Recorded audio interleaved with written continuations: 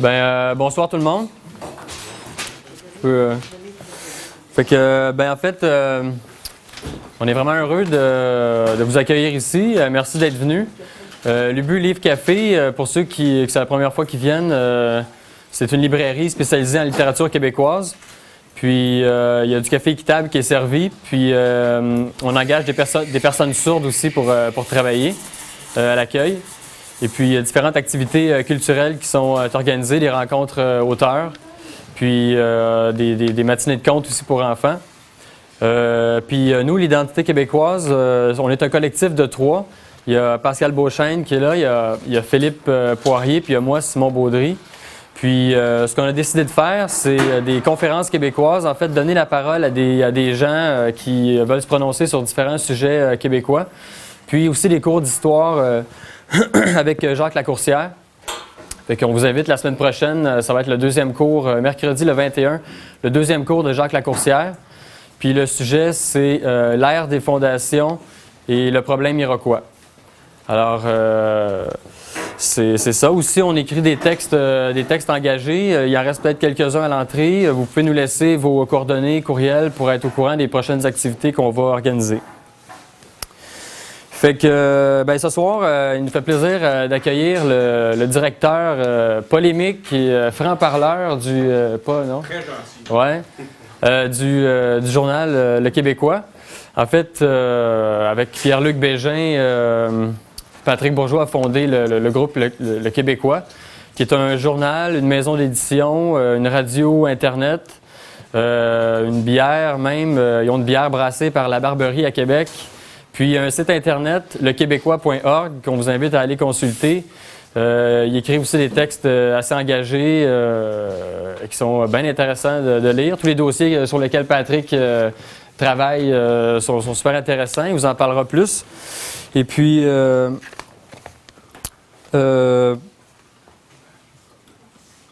c'est ça. Ben, Patrick, en fait, tu es vraiment à temps plein sur la cause de l'indépendance du Québec. Fait que, euh, en l'invitant ici, on s'attend un peu à se faire parler de, de l'indépendance. Puis le, c'est ça. Puis, euh, mal parti, puis, On va vous en recevoir une autre fois. fait que le sujet, c'est la lutte d'indépendance euh, en 2007, puis vu par euh, l'exemple du Québécois. Fait que, euh, ben, sans plus tarder, Patrick, Patrick Bourgeois qui vient, qui, qui nous descend aujourd'hui de la Gaspésie, et puis euh, on l'accueille. Patrick Bourgeois. J'ai 40 minutes, tu m'as dit. Ouais, mais Quarantaine de minutes. je vais te plugger. Ok, faut que je sois plugué en plus. C'est bon là que je sens quasiment comme un radio Canada. et tout. Là, je te mets ça ici, c'est correct. C'est parfait.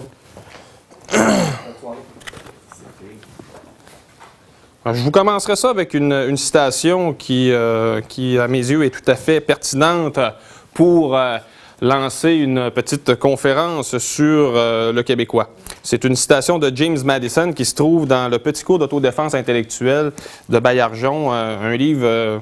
vous devez lire ça hein, à un moment donné, puis on, on va revenir un peu tantôt. Je vais commencer avec ma citation, avant que je parte, parce que des fois, un peu verbomoteur.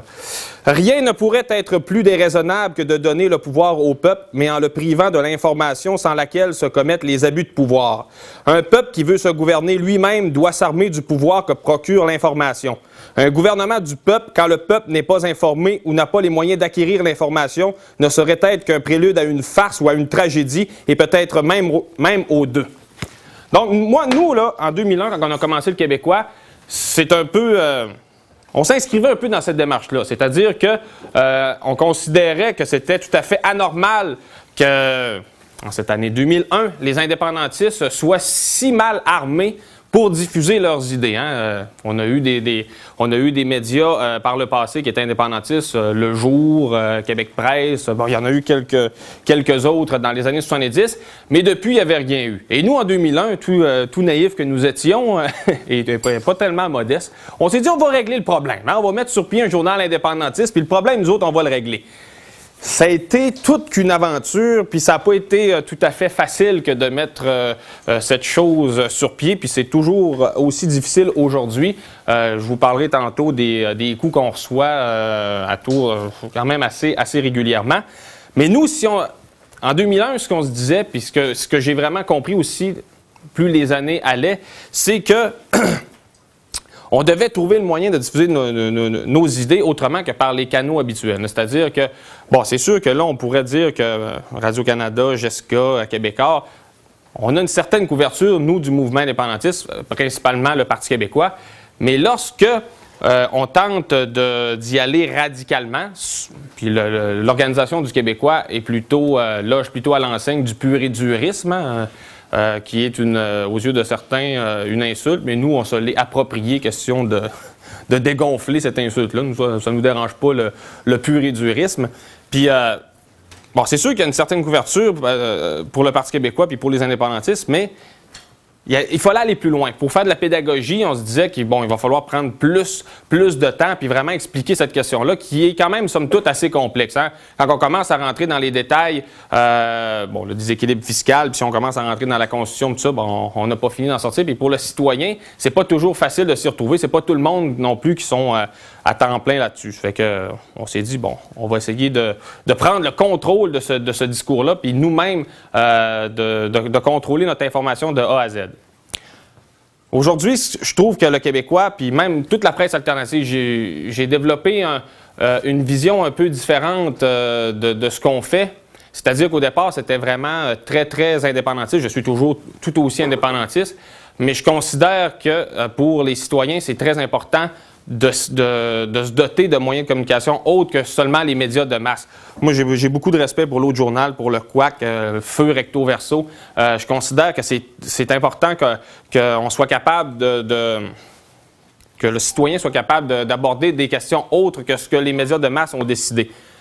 Puis, avec le Québécois, puis, euh, puis avec tous ces médias-là, ce qui est intéressant, c'est qu'enfin, euh, on est capable de faire preuve euh, d'esprit critique, nous les citoyens. Puis moi, je suis un citoyen qui a créé ce, journal-là en 2001 euh, pour justement être capable de, contrôler cette parole-là. Aujourd'hui, ben, le Québécois, après avoir fait, j'ai tenté, au départ, on s'est collé beaucoup sur le Parti québécois. Moi, j'ai travaillé au cabinet Landry. on s'est rendu compte que plus tu t'approches des partis, ben, plus tu vends ta liberté. Euh, aujourd'hui, euh, on se permet d'être plus critique envers les partis politiques. Ça nous. Euh, disons que des fois, on n'a pas que des amis au Parti québécois, même si, puis au Bloc, même si ce sont nos formations. mais c'est sûr qu'on a plus de problèmes avec les gens de l'autre côté. Parce que je pense que les libéraux ont compris, puis les, fédéralistes en général ont compris que tant que les indépendantistes ne seraient pas capables de se doter de moyens de communication qui leur sont propres, la lutte serait à toute fin pratique. Euh, on ne pourrait pas gagner. Fait que euh, je, vais, vous faire un peu. Euh, à un moment donné, tantôt, je me disais, bon, ben, j'aurais pas besoin de les écrire, je vais m'en souvenir. Mais là, quand je commence à regarder les coûts que le Québécois reçoit, bon an, mal an, qui viennent des fédéralistes, ben, il commence à en avoir pas mal. à chaque année, on en, ajoute. Puis je pense que le fait qu'on se fasse frapper autant euh, démontre que euh, le Québécois s'est lancé dans une avenue qui est très certainement euh, un danger à leurs yeux. Donc, je pense que ça veut dire qu'on n'était pas tout à fait fou en 2001, puis on avait visé, on avait misé quand même assez juste.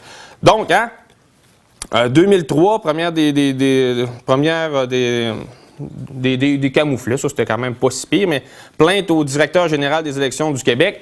Les libéraux considéraient qu'on n'avait pas le droit, nous, de, de, distribuer le Québécois durant la campagne électorale parce que c'était une dépense électorale non autorisée.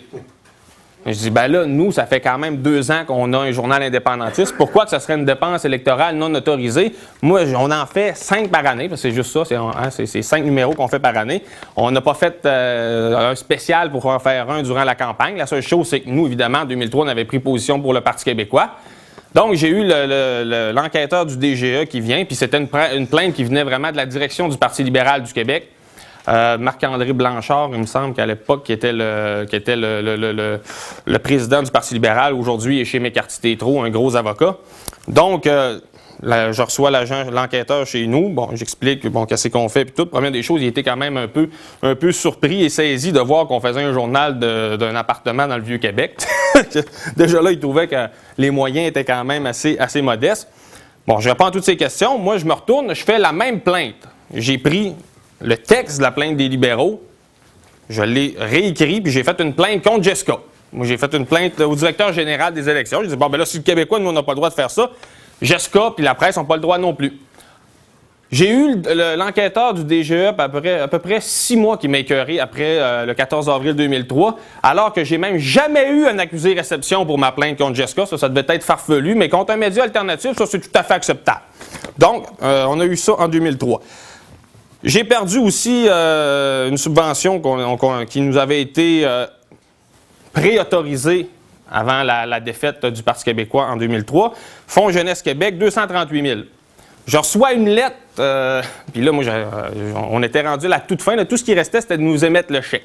On n'est pas chanceux, mot à dit. On a fallu que les élections tombent dans le processus, dans plein milieu du processus, à la toute fin du processus.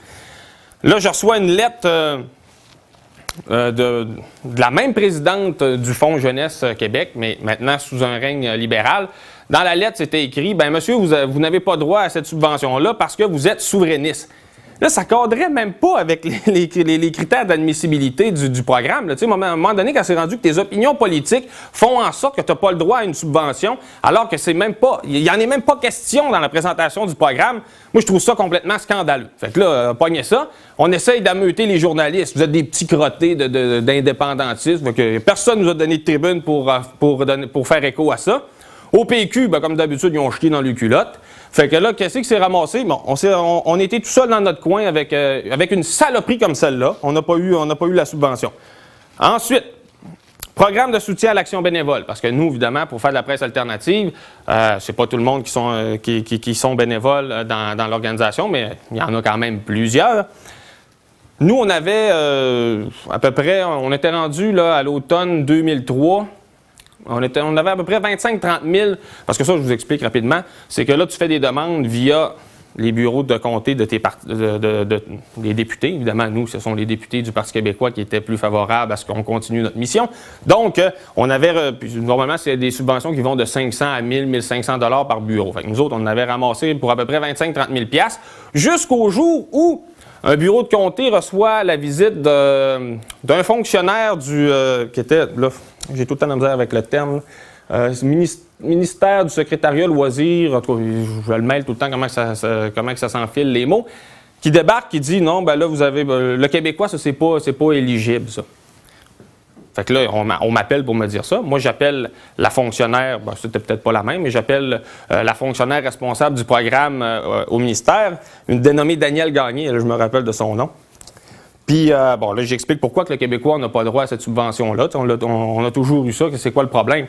On cadre dans les, dans les critères d'admissibilité du programme. Puis là, elle me dit, ah ben là, vous, c'est de la propagande que vous faites, puis euh, vous n'avez pas le droit de tout ça. Puis de toute façon, j'ai un ordre du Conseil du Trésor, puis si vous continuez à me poser des questions, euh, je vais retourner dans le passé de toutes vos organisations indépendantistes, dont l'Action nationale qui en recevait vraisemblablement, puis je vais aller chercher cet argent-là. Ça fait que là, évidemment, moi, je ne voulais pas mettre les autres dans dans le trouble. Fait qu'on a arrêté ça là. Mais ça, c'était un autre coup. On a perdu 25-30 000 là.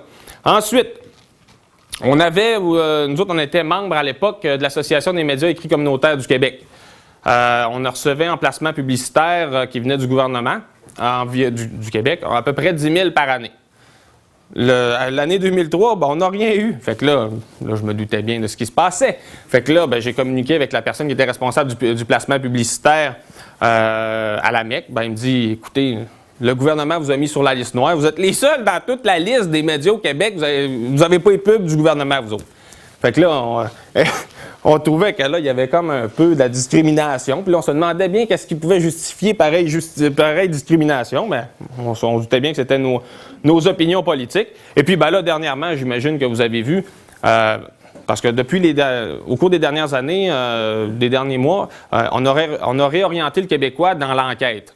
On trouve que c'est un créneau qui est, à peu près libre, euh, vacant au Québec. Euh, dans les grands médias, il n'y a pas d'enquête qui se fait parce que le patron veut qu'un journaliste ponde un papier au moins par jour, puis euh, tu n'as pas le temps de faire d'enquête. Puis des fois, tu sais, quelqu'un qui se lance dans une grande enquête, au bout du compte, tu peux arriver que tu n'as pas de résultat parce que ça ne veut pas dire que tu vas toujours trouver quelque chose de concluant au bout. Donc, les patrons ne veulent pas payer pour ça. Puis nous, on se disait, ben, c'est une, très belle façon d'informer, euh, d'informer les Québécois. Puis en plus, ben, nous, c'est sûr qu'on les fait avec une optique, avec un, angle d'approche qui est indépendantiste, qui est encore plus, plus négligé au Québec. Donc, on a eu, euh, on a parlé, probablement que vous avez vu, euh, vous avez vu passer ça l'automne dernier, euh, sur les résidences de Jean Charest. Hein. c'est nous, aux Québécois, qui avons sorti cette histoire-là. Moi, ce que j'avais fait, c'est que avec le, on avait fait sortir, avec la loi d'accès à l'information, les dossiers du chalet de Jean Charest à North-Atley et puis sa résidence principale à Westmount. Puis là, tout ce qu'on faisait, nous, finalement, c'était qu'on se disait, bien, regardez, euh, quand tu as presque 2 millions euh, en valeur de résidence, quand tu es premier ministre, tu gagnes à peu près une affaire, euh, c'est 165 000, puis là, une fois que tu as, tout enlevé, c'est une affaire de 80, 80 000 à 100 000 les revenus d'un premier ministre. On se demandait tout simplement comment fait-on, quand on est dans une situation comme celle-là, pour payer tout ça. Surtout qu'on sait que Jean Charest, ben, ça pas un passé familial où il c'est pas Jacques Parizeau, il ne vient pas d'une famille riche. Donc, euh, on peut, il peut pas compter sur un, héritage substantiel pour payer, euh, pour payer euh, son hypothèque et, tout et tout.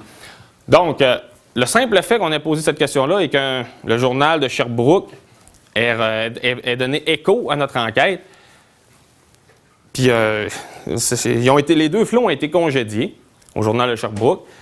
Et puis, euh, Luc Lavoie, vice-président de Québécois, les a traînés dans la boue, disant que c'était des incompétents, des, incompétents, des, des, abrutis. Bon, il n'y a rien, il y a, rien qui, il n'y a pas d'insultes qui ont été euh, ménagées. Le Québécois, c'était une, publication euh, marginale et caricaturale. Personne n'avait jamais entendu parler de ça. Seule chose, c'est que c'est Québécois qui nous distribue. Mais en tout cas, ça a l'air que Luc Lavoie ne se tient pas trop au courant de ce qu'il distribue dans, son entreprise. Mais ce qui ce qui est vraiment ce, qui est vraiment terrible dans cette histoire-là, c'est que le travail des deux journalistes euh, du journal de Sherbrooke avait été bien fait. Ben, euh, c'est ceux qui ont été un petit peu loin en reprenant mon article dans son intégralité dans le journal. J'avais trouvé ça un peu spécial. Mais, les vérifications avaient été faites. Il avait donné la parole aux deux côtés, euh, aux deux camps, dont l'attaché de presse de Jean Charest, puis il avait été voir l'administration municipale, puis tout ça. Mais finalement, on se ramasse au bout du compte où là, tu as des gens qui ont menti là-dedans parce que ce qui s'est passé, c'est que euh, à North Atley, ils ont, parce qu'ils disaient qu'ils n'ont pas pris la bonne maison en photo, hein, c'est sur la, couverture du journal de Sherbrooke. Sauf que c'est l'administration municipale de North Atley qui a donné le mauvais dossier puis qui a donné toujours la mauvaise adresse. Puis euh, il y a eu quatre ou cinq vérifications, contre-vérifications qui ont été faites. Au bureau d'enregistrement de North ils ont fait disparaître le dossier pour qu'on ne puisse pas y avoir accès euh, par Internet, parce qu'avec hein, une carte de crédit maintenant, puis Internet, on peut trouver bien des choses.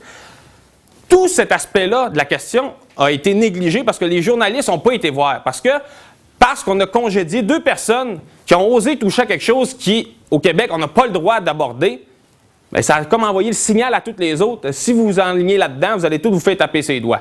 Sauf que là, il y a des choses là-dedans qui, sont euh, dans ce dossier-là qui sont vraiment scandaleuses, puis ça, se peut pas que les citoyens, on peut pas accepter que les citoyens ne soient pas au courant. Que le premier ministre du Québec loue un chalet à Sam Pollock, qui est un lieutenant des Bronfman, qui, en plus, il gère trois compagnies de son condo chez lui à Toronto, puis c'est des compagnies à numéro. Le citoyen puis le, le, moi, je, me dis plutôt un militaire d'information qu'un journaliste, parce que si je me réfère à ma formation en journalisme, euh, disons que des fois, on nous autres, on fait beaucoup de promotion politique. Donc, c'est sûr que euh, l'autre côté de la médaille, nous, on attaque plutôt. Hein. Fait que c'est un, journal de combat. Fait que moi, je me dis militaire d'information. Mais il reste que le citoyen ne peut pas avoir accès. Tu ne peux pas le savoir. Aujourd'hui, à l'heure où on se parle, c'est impossible de savoir combien Jean Charest paye pour ce, chalet-là à North Atley parce que les bails, les baux, ne sont pas publics. Tu peux savoir à peu près le numéro d'assurance sociale d'un propriétaire, mais un locataire, tu peux rien savoir. Fait que là, tout ce qui te reste à faire, puis une compagnie comme Mimisam Holding, qui est finalement la société de gestion immobilière qui loue le chalet de Jean Charest, ça non plus, tu peux rien savoir sur elle parce qu'elle ne vend pas d'actions.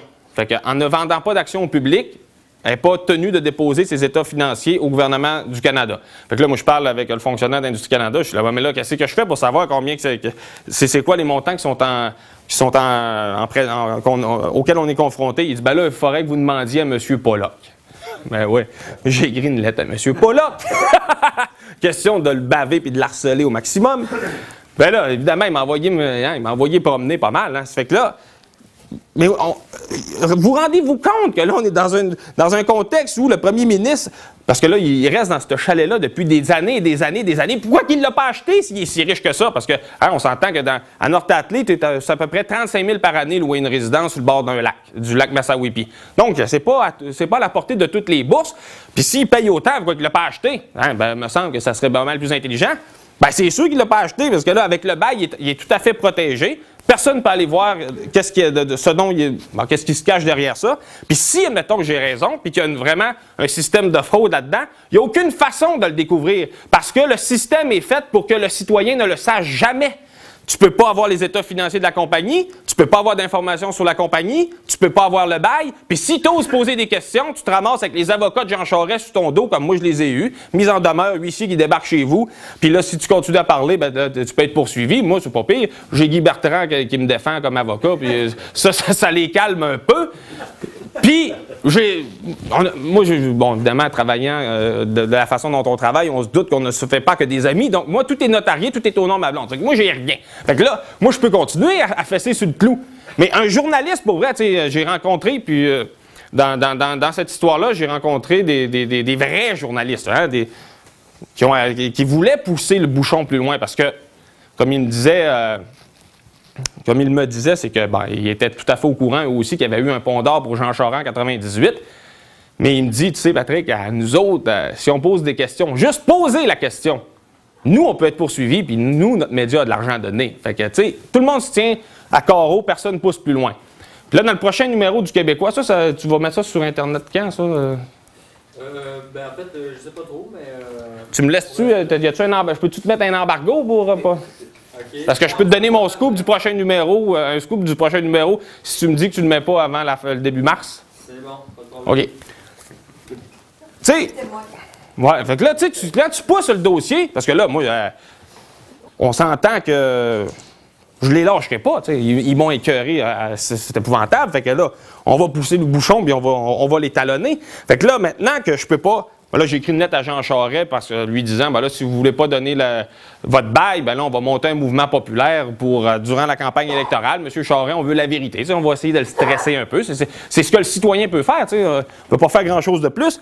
Puis d'autre part, ben, dans le prochain numéro, je fais un, portrait de Sam Pollock. Puis là, ce que je découvre, c'est que Sam Pollock euh, était un, ben, un est un des 39 principaux actionnaires de la compagnie Brascan, qui vaut à peu près 50 milliards, qui appartient à la famille euh. Et cette compagnie-là, en 2003, s'est portée acquéreur d'une compagnie qui s'en allait tout droit à la faillite et qui s'appelait Medi Solutions. Là, j'ai même donné le nom. Je suis fin, je vous donne. Bon. Medi Solutions, c'est une compagnie qui euh, vend des systèmes informatiques aux hôpitaux. Donc, à l'heure où on se parle, Sam Pollock est actionnaire principal de Medi Solutions parce ça appartient à Trilon qui appartient à Brascan. Donc, Sam Pollock fait de l'argent quand Medi Solutions fait de l'argent. Medi Solutions s'est remis sur la route de la prospérité comment? À partir de 2003, elle a obtenu plein de beaux contrats de la Régie d'assurance maladie du Québec, avec Transplant Québec, avec le CHUM, avec... Elle s'est implantée partout tout dans le système. Ben, elle était déjà bien implantée, mais là, elle s'est redressée parce que là, elle a obtenu plein de contrats qui venaient du ministère de la Santé. Donc là, on est dans une situation où Jean Charest vit dans la cour du bonhomme Pollock à North-Atley. C'est à, 10 pieds. Il vit dans sa cour. Le bonhomme a un accès direct au premier ministre, dont la compagnie fait de l'argent avec son ministère de la Santé. C'est sûr que l'on ne peut pas parler euh, à, proprement parler de conflit d'intérêts, mais je vous, je vous ferai remarquer que Gilles Barry a dû démissionner pour beaucoup moins que ça au début des années 2000.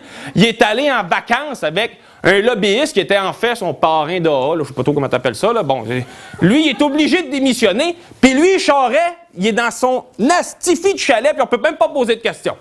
Ça, moi, ça m'apparaît. Euh, euh, c'est surréaliste. Qu'est-ce que c'est ça, ce monde médiatique-là, où on peut même pas on peut même pas poser des questions? Puis là, si tu poses des questions, ben là, as le bureau McCarthy trop sur le dos. McCarthy trop là, c'est tous des libéraux qui sont là. Marc-André Blanchard est là. Euh, dans le Québécois, je les avais nommés, les, noms m'échappent, mais il y en a à peu près 3-4 là-dedans. C'est sûr. Puis le PQ, là, je disais, c'est quelque chose de fun à découvrir? C'est qui qui me poursuit? Ben, qui me menace de me poursuivre parce qu'ils l'ont pas fait. C'est-tu Jean Charest ou c'est le premier ministre? Parce que c'est pas la même personne qui paye. Hein? Ça fait des, mises en demeure et tout ça. ça coûte de l'argent. Puis mes quartiers trop, là, ça travaille, ça doit, travailler à peu près à 1000 pièces de l'heure, ce cabinet-là. C'est qui qui paye? Moi, moi, avec euh, Guy Bertrand, heureusement, il est très généreux, mais moi, j'en avais pour à peu près 10 000 pièces en frais de- en frais d'avocat. Juste pour me défendre là-dedans. Ça fait qu'on peut, on peut penser que ça serait sensiblement les mêmes montants qui sont de l'autre côté. Mais le PQ n'a même pas voulu demander la question. Ils n'ont pas voulu la poser en chambre. hein, parce que à l'Assemblée nationale, immunité parlementaire, tu peux dire tout ce que tu veux. Moi, Éli- élisez-moi jamais député, ça va être. Les questions vont t'en poser. Fait qu'eux autres auraient pu poser la question qui est tout à fait légitime. Qui paye pour euh, cette, cette procédure-là? Ils l'ont pas posée, ça fait qu'on ne sait même pas c'est qui qui paye. Ça peut être le premier ministre, ça peut être des fonds publics, ça peut être Jean Charest, on ne sait pas. Donc, euh, ça, c'est c'est l'épisode. C'est l'épisode Charret avec ses résidences qui sera relancé dans, le, prochain, numéro. Puis là, ben, le Québécois est tellement, tellement fatigant que là, depuis à peu près un mois, ben là, c'est- d'autres sortes de pressions qu'on subit. Là, ben, je ne sais pas si euh, des lecteurs du Journal de Montréal, et, euh, même la presse, hein, vous pouvez lire la presse, essayez d'en parler aussi. Là, c'est la GRC qu'on a sur le dos, là. Là, c'est. Écoutez, là, on est, on est devenu l'ennemi public numéro un, nous, aux Québécois. Là, là euh, parce que, pour faire une histoire courte, le 15 novembre dernier, il y a un, un communiqué qui a été envoyé euh, aux médias, un communiqué euh, du FLQ, cellule Camille Lorrain. Bon. Là, moi, Mario Girard de la presse m'appelle chez nous le, le 15 novembre. Hey, t'as-tu vu ça? Qu'est-ce que t'en penses? Ben, c'est des foleries, tu sais, des choses. Euh, Un flot qui vient de lire Nègre blanc d'Amérique, il trouve ça bien trippant, le FLQ, puis il a décidé qu'il allait s'amuser un peu. J'ai dit, là, vous allez pas faire un papier là-dessus, c'est une vraie farce, cette histoire-là. Il dit, non, non, c'est très sérieux, M. Bourgeois, parce que c'est bien écrit. J'ai dit, ben là, Christy, c'est- c'est-tu des écrivains que vous cherchez ou ben non, des terroristes? Tu sais, à un moment donné, il dit, bien écrit, ça veut dire que c'est vrai. Bon. Fait que là, il décolle avec ça. J'étais là, bon, euh, c'était un peu, un peu bizarre, mais là, moi, j'étais dans des rénovations. Fait que j'avais pas le temps trop de- qu'il me raconte ces histoires. Fait que là, le, le 12 janvier, j'ai reçu un appel d'Éric Mallet, agent à la GRC, l'équipe intégrée sur la sécurité nationale. Il dit, Ouf, si voilà. Il dit là, il me laisse un message. Je dis, bon, qu'est-ce que j'ai encore fait? fait que là, je rappelle l'agent en question. Il me dit, là, il faut absolument qu'on se rencontre. J'ai dit, ben pourquoi? Ben, il dit, euh, le FLQ. Le FLQ, alors c'est grave. fait que là, j'ai dit, ben là, j'ai rien de plus à dire que ce que j'ai dit euh, à Mario Girard en novembre dernier. Il a dit, non, non, non, là, c'est grave, il faut absolument se voir. Fait que là, ils sont partis deux, deux taupons de Québec pour venir me rencontrer en Gaspésie. Parce que moi, comme euh, je pense que tu l'as dit tantôt, je suis le bord de la mer en Gaspésie. Fait que là, je me dis, hey, ils viennent me voir. En tout cas, on va essayer de. Rien me reprocher. Ça qu'on va les, on va les recevoir. Là, chez nous, pose des questions sur euh, le FLQ un peu, mais surtout sur le Québécois, surtout sur Falardeau. Pourrais-tu craquer les jeunes? Ça pourrait être lui? Il dit, ben là, il faut aller le voir, il serait très heureux. Après ça, bon, on pose des questions sur mes fréquentations. Il dit, ah, toi, on sait que tu fais, t'es pas là, t'es pas ci, t'es pas ça.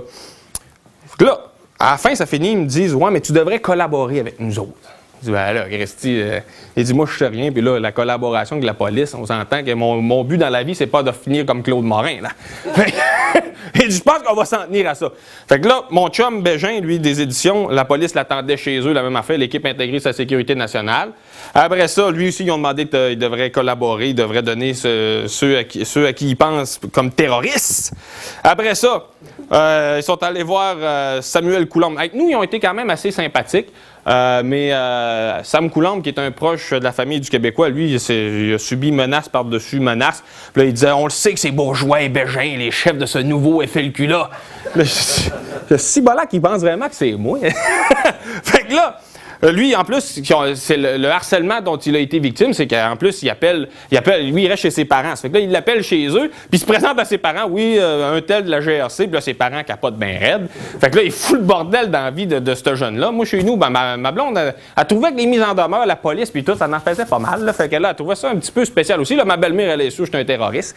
Fait que là, euh, mais là, on est rendu, là, à l'heure où on se parle, là, moi, je- on, a fait la liste, on est rendu peut-être à, à 20-25 de même des militants qui ont été euh, harcelés par, euh, par cette euh, GRC-là. Puis, tu sais, ça a l'air pas mal de, Ça tourne beaucoup autour du Québécois. Ça a l'air beaucoup d'une- construction qui vient de, l'autre bord pour un peu. hein. On est dans un contexte. Euh, on est dans un contexte pas mal électoral. Puis là, je vous fais, euh, je vous économise les menaces parce qu'il y en a, tu sais, qui se sont faites. euh, ils arrivent avec les communications MSN. En passant, dites plus rien dessus. MSN, ils savent tout. hein. Ils arrivent avec tes, tes- tes communications de cellulaire. Ils savent tout ce que tu as fait avec ça. Euh, puis en plus, il y en a qui se font embarquer. Ils les amènent au quartier général de la GRC, puis euh, interrogatoire assez musclé, où ils se font crier par la tête que c'est eux autres, puis il faut qu'ils avouent, puis tout. Puis là, ça, ça se passe aujourd'hui dans un contexte où c'est bien difficile d'être capable de dire, euh, tu sais, d'avoir, euh, êtes-vous au courant tout ça? Non, hein, mais il- personne ne fouille ces histoires-là. Il y, a une- y opération d'harcèlement des militants indépendantistes à l'heure où on se parle, qui est quand même très importante parce que Paolo Zambito, il dit je le dire. Paolo Zambito, qui est attaché politique de Jean-Claude Saint-André, ils sont rendus dans, dans, le personnel politique d'un parti. Lui, euh, il est allé au quartier général de la GRC, puis là, ils ont, demandé, euh, bon, ils posent des questions, tout ça. Euh, L'agent se présente, je suis euh, de la GRC pour les délits commerciaux. Délits commerciaux. Il dit oui, c'est parce que là, l'équipe intégrée sa sécurité nationale est complètement débordée. C'est une grosse enquête qu'on mène. Là. Il y a eu deux communiqués du FLQ qui ont été envoyés. On est sûr que c'est vrai. Que là, ils ont tout, misé là-dessus. Mais là, c'est sûr que là, dans le contexte où on est, où là, euh, il y a des élections vraisemblablement qui, qui bon, ça devrait être déclenché le 21 février prochain. Donc, hein, c'est c'est sûr que c'est bon, le FLQ. Ça, ça fait peur, euh, ça peut faire peur un peu aux gens. Puis, surtout, c'est que, tu sais, bon, le, traitement médiatique, moi, m'apparaît quand même assez. Bon, c'est sûr que c'est pas l'histoire du siècle non plus, mais moi, je trouve qu'on on aurait pu un peu mieux expliquer, euh, essayer de, mieux présenter l'opération qui se passe. Mais il y a quand même des saloperies qui se passent dans les médias. Puis là, ce coup-là, c'est moi qui l'ai reçu dans le front. Le soleil. Une belle saloperie qu'ils m'ont faite, eux autres. Là, la cellule, elle s'appelle Camille Lorrain. Hein? Cellule du FLQ, Camille Lorrain. Les autres, ils vont, ils vont faire sauter le West Island au complet à partir du 15 février prochain. Là, le Soleil récupère l'article de Mario Girard de la presse, parce que hein, la convergence fait en sorte qu'on n'a même plus besoin d'écrire beaucoup d'articles. On a rien d'écrire un, puis fait le tour. C'est tout le temps le même. On lit tout la même affaire. Fait que là, euh, ça se ramasse dans, le soleil. Mais là, c'est des astifies d'innocents-là. La photo qu'ils ont prise pour illustrer l'article, c'est une photo qu'ils avaient prise de moi en 2004. Quand ils faisaient, ils m'avaient fait le portrait du militant indépendantiste que j'étais. C'était censé être positif, puis ça avait fini qu'ils m'avaient traité de perturbé, puis toutes sortes d'affaires. Mais en tout cas, ça, c'est une autre histoire. Celle-là non plus, je ne l'avais pas digérée. Mais là, euh, la photo. là, je suis là, on est sur un article qui parle de la cellule Camille Lorrain. C'est grave, le FLQ. Puis là, l'autre à côté, moi, dans l'article, je disais, ouais, ouais, ça vient de l'autre bord, pas, c'est pas des indépendantistes qui ont fait ça. Puis qu'est-ce que j'ai dans les mains? Un livre de Camille Lorrain. fait que là, tu sais, s'il avait voulu établir un lien entre moi et cette cellule-là, bon, on, s'y serait pris pas différemment, ou alors m'a fait, fait passer pour un vrai débile mental, hein? Tu sais, parce qu'ils disent pas photo 2004, là. Là, ils disent, là, ça a l'air que là, j'ai reçu le journaliste chez nous, puis là, disent, oui, ben là, ça me paraît une photo pour l'article. Moi, l'innocent, je prends un livre de Camille Lorrain. Tu sais, Chris, tu sais que ça n'avait pas d'allure. Là, évidemment, bon, ils s'excuseront jamais pour ça, là. Tu sais, puis qu'est-ce que tu veux faire? Tu subis, puis euh, à un moment donné, tu prends ton trou, puis tu attends ton prochain coup pour, euh, pour les ensacrer un autre sur, le nez, parce que là, le soleil, bon, on va faire une plainte au conseil de presse, une plainte au conseil de presse, hein, euh, c'est méchant, gros, une grosse affaire. Ils vont peut-être recevoir un blâme. Ouais, pas mal grave. Fait que t'as pas, on peut pas faire grand-chose euh, grand-chose avec ça. Bon, qu'est-ce que j'avais d'autre à dire, moi, là? là? Euh, ouais, ben, oh, il fallait que je parle aussi de la lutte indépendantiste en 2007. hein, tu m'avais dit.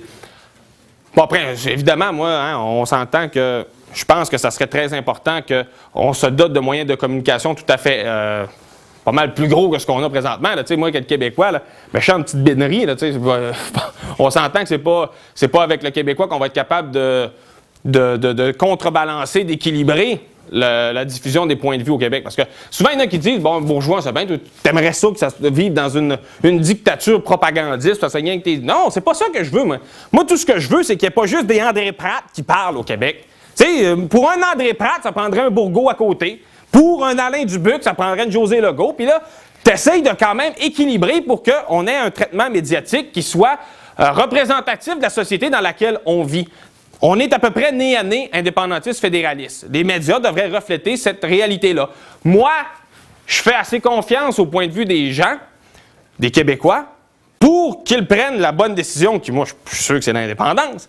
Quand on, va les avoir présenté tous les arguments, puis vraiment bien, bien, équilibrer euh, la diffusion de l'information, moi, je suis sûr qu'ils vont être assez intelligents pour faire le choix qui s'impose. Puis, euh, mais moi, je lui fais confiance, mais à la presse, puis tout ça, là, avez-vous vu Pratt dernièrement, qui, il se- il, se, il, se présentait lui-même comme le, digne représentant de l'éthique journalistique. Hein? Moi, c'est super, mais Bernard Drinville, ouh, ça c'est grave en maudit, il osait se présenter pour le PQ.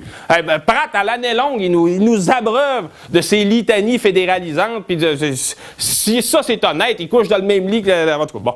Fait que... c'est sûr qu'à un moment donné, au PQ, ou dans le mouvement indépendantiste, ou je ne sais pas trop comment il va falloir s'organiser, mais il va falloir à un moment donné euh, faire preuve de courage puis euh, s'arranger pour être capable de, diffuser nos points de vue. Tu sais, souvent au PQ, puis dans le mouvement indépendantiste, ils me disent Ouais, monsieur Bourgeois, vous savez, mettre sur pied un média indépendantiste, c'est compliqué, c'est dur. Oh oui, c'est sûr que c'est dur. Mais penses-tu que faire un pays français en Amérique du Nord, ça va être plus facile, toi?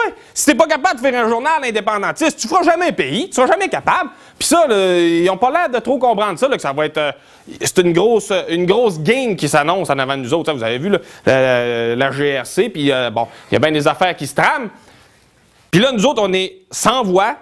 On a une structure de financement complètement archaïque. Hein? La, carte de membre à 5 piastres, moi je suis plus capable. À un moment donné, il faudrait peut-être se trouver un moyen de se financer autrement qu'avec des astifies de carte de membre à 5 piastres. Moi, la dernière fois que je l'ai fait pour le PQ, j'ai dit là c'est fini. Là. Euh, il m'envoie à 8 h, 8, 9 h le matin. Bon, je m'en vais vendre des cartes de membre à 5 piastres du PQ. Ça me coûte plus cher de gaz que ce que je ramène. Puis en plus, le bonhomme, il arrive, oh, pas de cher, je vais m'acheter une grosse bière au dépanneur. pour 5 piastres, ça suffit. Il dit ça. On pourrait peut-être travailler autrement. sais, si on regarde l'Irlande du Nord, un, euh, un bel exemple, et vous imaginez-vous, vous, Jerry Adams, chef du Sinn Féin, qui fait du porte-à-porte, vendre des cartes de membres à 5$. Ben voyons donc! Ils se sont arrangés autrement. Ils ont des pubs, ils ont, des, ils ont une structure commerciale qui fait en sorte que l'argent rentre. Le Québécois, nous autres, on est très petits. On n'a pas réussi à faire ce que. Là, évidemment, l'IRA, il y avait les armes de la drogue, mais on laisse ça de côté. Mais nous, on a essayé d'appliquer une structure commerciale pour le financement du Québécois. Il y a quelques années, c'était 50% de nos revenus, c'était la pub puis dont euh, on peut dire euh, quasiment, euh, à l'époque c'était quasiment toutes des partis politiques. Aujourd'hui, on a diversifié nos sources de financement. La publicité, ça représente à peu près tout juste 10-15% du financement de l'organisation. Mais on vend des t-shirts sur notre boutique Internet. On fait du commerce électronique en ligne. On vend des livres, maison d'édition. on a monté un réseau de distribution. Bon, on essaie d'avoir de l'argent qui vient automatiquement, sans que tu sois obligé tout le temps, toi, t'investir dans, des campagnes de financement. Parce que quand toi, tes militants, ils sont dans des campagnes de financement à temps plein, ils font pas de politique, là. Ils ramassent des maudites cartes de membre à 5 piastres. Ça, c'est une vraie perte de temps. Fait que là, au PQ, comment ça se fait qu'ils n'ont pas monté, eux autres mêmes, euh, euh, une, une maison d'édition, un bar? Une boîte, à une boîte de chansonnier. à Québec, chez son père, ça vire, ça vire très bien. À Montréal, je suis sûr qu'il y, a, quelques boîtes euh, de chansonniers ici. Pourquoi le PQ ne se serait pas lancé là-dedans? Des bars. Là, tu es, tranquille. Ton argent rentre, une belle source de financement. Tu es équipé pour faire la guerre. Parce que la guerre, c'est l'argent. Je m'excuse, mais si, on n'a pas, d'argent, on ne sera pas capable de battre l'autre bord. Puis de l'autre bord, on s'entend-tu qu'ils n'ont en Christie de l'argent? Fait qu'on euh, on est aussi bien de commencer à pédaler tout de suite parce qu'on euh, a des croûtes à manger, on m'a dit. Fait que là, Bon, la structure de financement, euh, c'est sûr que là, est assez déficiente aujourd'hui. Puis aussi, ben c'est ça, lutte indépendante. Là, je vais finir là-dessus, après on, ira aux questions. On parle de, la lutte aujourd'hui en 2007. Bon, vous avez vu, là, dernièrement, le, PQ a sorti son plan. Moi, ce qui, ce qui me, saisit un peu dans cette histoire-là, c'est que le, PQ compte appliquer la stratégie de 1995 à peu près dans son intégralité. Ils vont ajouter des observateurs internationaux, puis je pense à peu près ça. C'est parce que depuis 1995, euh, au PQ, euh, puis pour avoir travaillé au cabinet Landry, en 2003, moi, je sais qu'il ne s'est rien fait parce qu'à un moment donné, moi, j'étais sur le chantier pays. Ça fait que là, je demande au conseiller de Landry, je le vois là, amenez-moi ce que vous avez fait depuis 1995. il m'a demandé de partir le chantier pays. Fait que là, le conseiller, il me dit, ben, on n'a rien fait. Depuis, je ne pense pas qu'il s'est passé grand-chose de plus. Euh, M. Boitler, bon, il commence à, vouloir parler un peu de souveraineté, semblerait-il, mais on avait pas mal de rattrapage à faire. Fait que là, on va réadapter la stratégie de 95 alors qu'on ne s'est même pas préparé, il n'y a plus rien de fait. Notre, euh, réseau de contacts à, l'international, bon, c'est pas mal effondré. Euh, là, on n'est même pas trop sûr s'ils veulent leur remettre le partenaire. Il faudrait voir exactement qu'est-ce qu'ils veulent faire. Mais de l'autre bord, entre-temps, ils sont quand même... Euh, ils n'ont pas chômé. Hein, fédéral, ils ont fait quelques affaires depuis 95.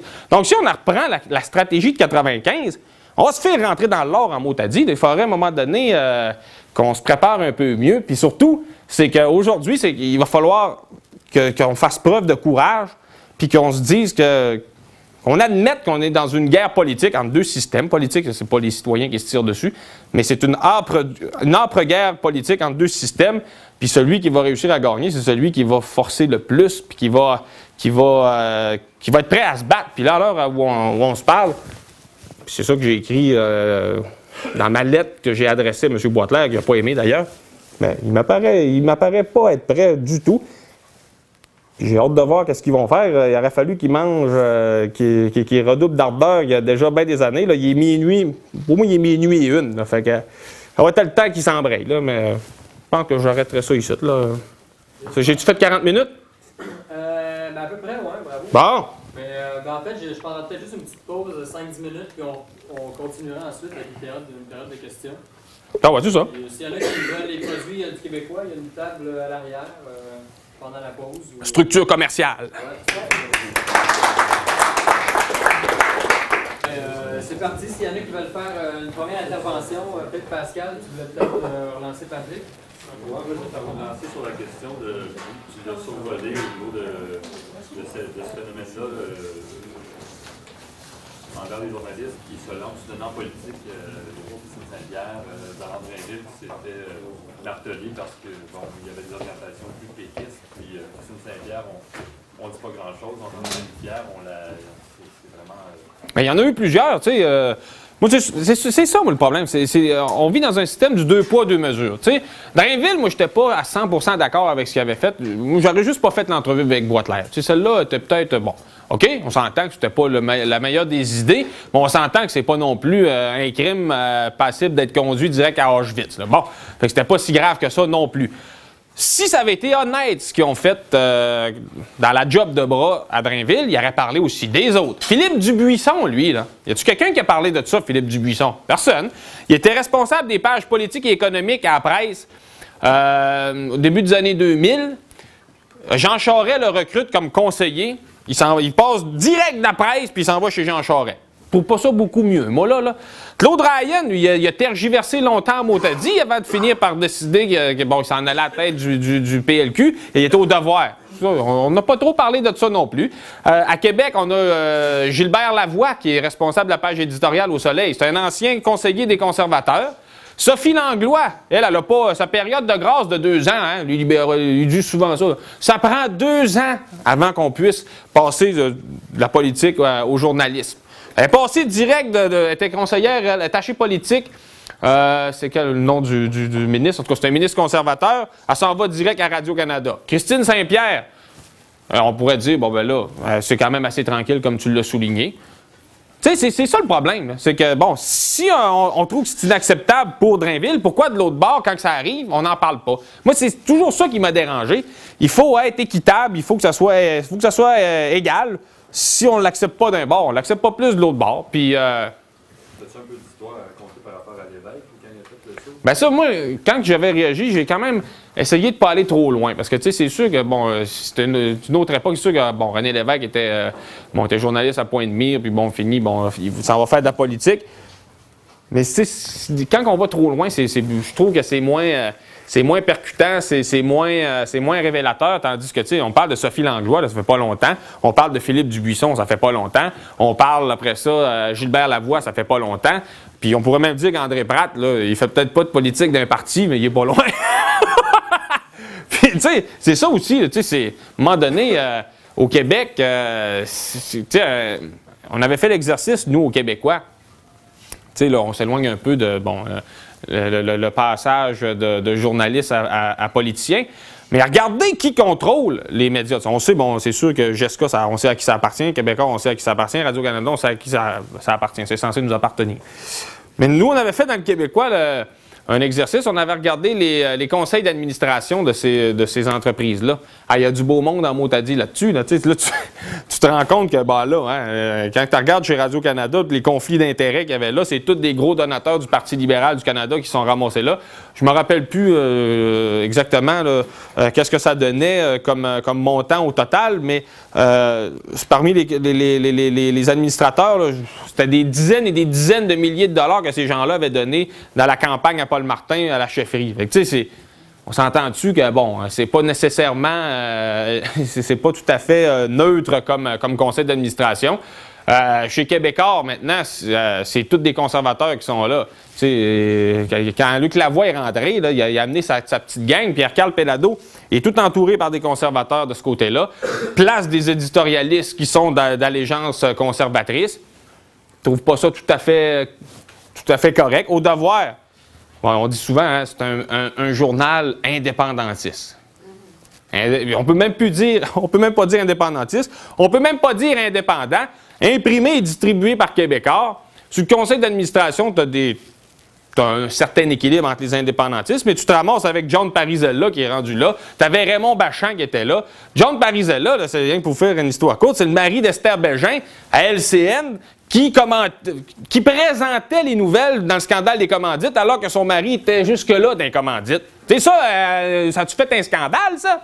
Bien pire que ce que Drainville a fait, là. Mais c'est ça, deux poids, deux mesures. Puis moi, j'ai toujours dénoncé ce, système-là. euh, c'est c'est d'une hypocrisie sans nom. Le monde médiatique au Québec, le monde politique euh, au Québec-Canada, c'est- C'est avec la disparition du drame, le, le- le recrutement pour des journalistes euh, au Québec. Ben, tu sais, oui, mais c'est- puis, tu sais, comment il s'appelle, le- le- Alain Gravel, puis toute son espèce de patente de la, la FPGQ, là, la Fédération professionnelle des journalistes du Québec. Hein? C'est épouvantable. Ils, ils- ils- ils sont censés défendre l'éthique journalistique. Méchante défense. On met des choses. euh, aussitôt que ça commence à coincer un peu puis à, être un petit peu polémique, ils partent à la course comme des lièvres. Les, deux de, les deux de qui ont été congédiés, là, ils n'ont jamais monté euh, au front pour euh, au moins euh, expliquer puis bon tempérer un peu les choses. Non, c'était on se mêle pas à ça, c'est politique. Non, moi je trouve que puis moi, en plus, la FPGQ, ben, j'ai une dent personnelle contre eux autres parce qu'ils ne voulaient pas m'avoir comme journaliste. Fait que, tu sais, moi, au, Qué- au Québec, il y en a deux qui sont, qui sont pas acceptés chez la FPGQ. Il y a, il y a- il y a Jean-René Dufort, infoman, puis a moi. Puis moi, ben, c'est pas parce que. Moi, je suis un je suis un infoman, mais pas drôle. mais tu sais, c'est ça, tu sais. Puis qui, tu sais, qui euh, traite de ces questions-là au Québec? Qui, euh, tu sais, c'est- un. Normalement, tu sais, euh, on serait censé surveiller un peu euh, le pouvoir. Puis bon, on dit souvent que le rôle des médias, c'est de surveiller le pouvoir. Bon, mais qui surveille les médias? Personne. Sais, le conseil de presse, c'est une farce, là. Une farce monumentale. La FPGQ, c'est une farce. Ils font ce qu'ils veulent, puis c'est grave parce qu'il y, a y a du salissage qui se fait là-dedans. Puis, comme euh, Parenteau disait, quand Parenteau s'est fait, euh, fait squeezer à la face, il disait le pire à Radio-Canada, c'est pas ce qu'on ce voit, c'est ce qu'on voit pas. Il a résumé en une phrase. Mais c'est de même, dans, tous les médias, c'est comme ça. Tu sais, c'est la première des choses, euh, euh, tu as la concentration, tu as le, fait que les, gens sont. Moi, quand j'étais euh, au certificat en journaliste à l'Université Laval, euh, j'étais responsable du journal École. Les flots qui étaient. Ils finissaient, là. Ils finissaient le bac en communication, puis ils s'en allaient journalistes. C'était des ignorants politiquement, là. C'est des gens qui étaient habilités à transmettre une information qu'ils ne comprenaient pas. Ils comprenaient rien de rien. Tu sais, le bac en communication, là, zéro bin bar, cette affaire-là. En tout cas, Université Laval, peut-être dans les autres, c'est super bon. Mais euh, dans, dans- au journal des étudiants, j'en avais quand même à peu près une centaine sous mon commandement. Euh, On avait du pouvoir dans le temps. Maintenant, au Québécois, on est quatre. Mais tu vois, tu moi, ça, m'avait. Je trouvais ça ahurissant. Moi, tu j'arrivais. Moi, je finissais ma maîtrise en histoire. Bon, certaines connaissances historiques, puis j'avais fait d'autres choses à, côté. Mais ces gens-là n'avaient juste fait que de la communication. Donc, tu te ramasses avec ces mêmes professionnels de l'information-là dans nos médias qui comprennent rien. Tu, tu le vois en plus quand tu donnes des entrevues, ils t'appellent, puis là, ils posent des questions sur bon, n'importe quoi. Tu vois qu'ils sont perdus, ça prend deux minutes, ils sont, ben, ils sont perdus carrément. Une- en plus, tu as une rationalisation euh, qui, fait en sorte que tu as de moins en moins de. tu as souvent recours aux pigistes. Fait que, la, la sécurité d'emploi n'est plus là. Ça fait que, tu sais, euh, va commencer à, à ruer d'un brancard quand tu n'as même pas de protection syndicale. Personne pour protéger un journaliste qui déciderait. Moi, je trouve que ça, ça n'a pas d'allure, puis on va, on va traiter, on, faut traiter euh, de cette façon-là telle question. Oublie ça, puis euh, en plus, le pupitre, c'est- de même ça se passe. C'est que souvent les gens disent Ouais, mais c'est quand même correct. Il y, a, plusieurs journalistes, puis qui sont, euh, sont souverainistes, j'en connais là-dedans. Mais c'est le pupitre qui décide. Euh, les assignations, si tu vas traiter de tel sujet, tu ne traiteras pas de l'autre. Le titre, c'est le pupitre qui décide. Puis les photos, hein, on le sait, ça. hein? Fait que, tu sais, il y a- bien des façons de manipuler l'information avec les photos, les bas de vignettes, les exergues, les assignations, les titres, où tu places ça dans le journal. Tu, te- fais. euh, moi, Nos ennemis, les médias, euh, le livre que j'avais fait, j'avais, moi, j'ai relu tous les articles de la campagne référendaire de 95 dans cinq quotidiens. Puis là, tu de voir, bon, là, tu vois les articles qui sont favorables ou oui, euh, plus souvent qu'autrement, étaient positionnés beaucoup plus loin dans le journal. Tu l'ampleur des articles qui, qui, qui, influe aussi sur, euh, sur l'impact que ça aura sur le lecteur. Euh, bien des- aussi la façon dont tu construis un article. Si tu commences, je sais pas moi, euh, parce qu'on sait qu'il y a quelqu'un qui lit la plupart des gens vont, vont- vont commencer, bon, tu lis le lancement, tu lis le titre. C'est bien rare que. Il y en a beaucoup, en tout cas, qui ne se rendent pas jusqu'à la fin. Fait que, si tu mets tous les propos fédéralistes, bon, les acteurs fédéralistes sont en premier dans l'article, la réaction des souverainistes en bas, c'est une façon de manipuler aussi. Tu sais, à un moment donné, il faut que le citoyen, euh, parce qu'on ne peut pas se fier sur personne d'autre que nous autres mêmes dans ces questions-là, il faut faire nos propres lectures. Tu sais, moi, tantôt, je vous montrais. euh, Bayarjon, super intéressant, mais tu en as plein. Du, lisez Chomsky, lisez Roger Mukieli, lisez Volkov. Volkov, bon, pas mal à droite, là, mais en tout cas. euh, il faut, il faut nous-mêmes faire nos devoirs parce que personne d'autre nous fait ce travail-là à notre place.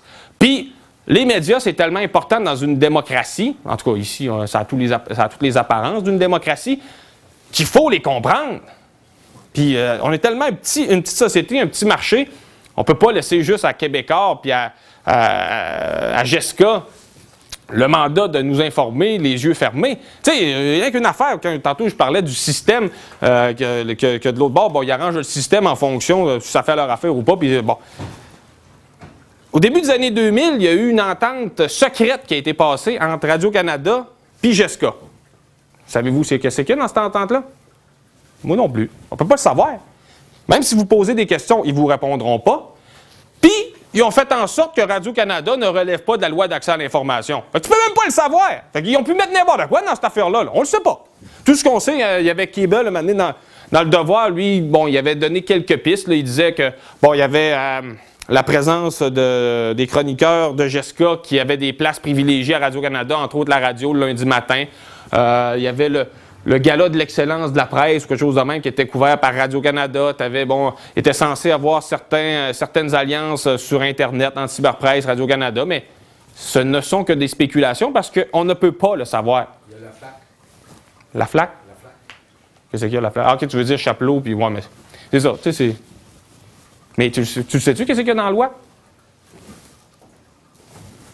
Si ça, c'est normal, puis que c'est représentatif d'une démocratie, moi, vous m'allez vivre dans le bois, là. Je ne peux pas accepter une affaire de même. C'est Radio-Canada, c'est une télévision publique, puis ça fait des alliances avec Power Corporation, que c'est ça dont il est question. Jessica, c'est Power Corporation, qui a des intérêts partout dans le monde. Puis on ne sait pas qu'est-ce qu'ils ont fait comme alliance.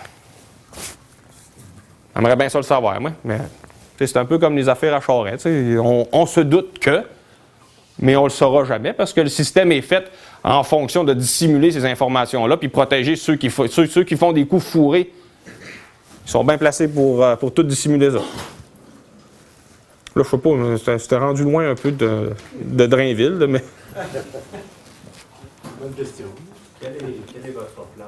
Euh, Est-ce qu'il y a une. euh, que- quel est le conseil? Qu'est-ce qu'on Ben? Tu vois, moi, euh, ben, premier, des, premier des conseils, moi, je dis, à, to- à toutes les fois, moi, je dis aux euh, à ceux qui m'écoutent, qui m'écoutent radoter, c'est li- lisez. Sérieusement, là, il faut faire nos devoirs par nous-mêmes. Bon, donc, il y, en a quand même des livres qui parlent des médias. Pas beaucoup au Québec, mais tu sais, quand même, si tu lis du Chomsky, euh, tu vas quand même, tu vas développer ton esprit critique face à la machine médiatique. Puis bon, ce qui se passe ailleurs peut servir aussi d'exemple ici. Puis moi, ben, je te dirais, il faut, il faut trouver chacun personnellement euh, ce dans quoi on est à l'aise pour mener nos combats. Tu sais, certains, ont, euh, bon, je sais pas, ils travaillent euh, à telle place, puis ils ont tant d'heures à donner par, par année dans une organisation X, Y qui est conforme à ses valeurs. Moi, ça, me- ça tellement les médias au Québec que j'ai dit, moi, me fait mon journal, au moins, je suis, il est là.